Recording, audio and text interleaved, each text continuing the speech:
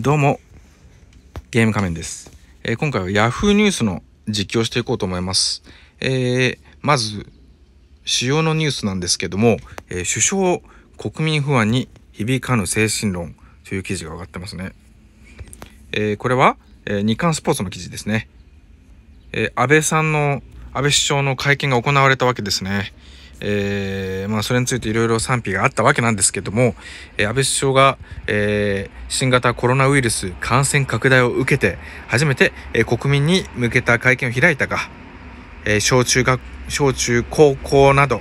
一斉休校要請に至った唐突な判断の具体的根拠を示さなかった。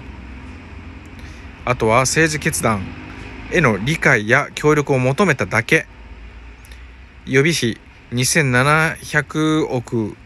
円を、えー活用した経済政策には、えー触れたが取りまとめはこれからだということで、えー国民の不安と向き合う覚悟が見えなかったっていうふうに、えー日刊スポーツの記事は書いてますね。えーということで、えー非常にね、あの今混乱状態ですよね。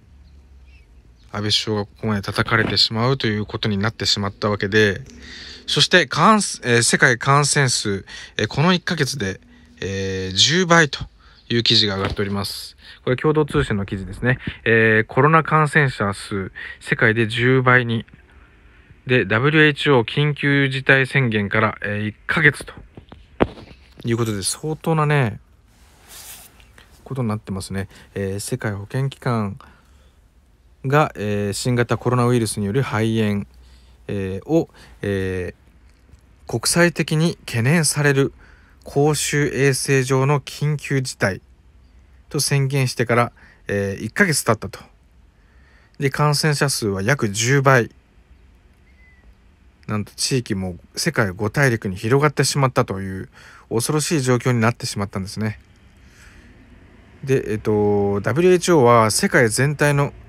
危険性評価を、え中国と同等非常に高いに引き上げたと。世界的流行の認定に至ったと。いや、収束の見通しが立っていないどころか、事態の拡大局面が継続。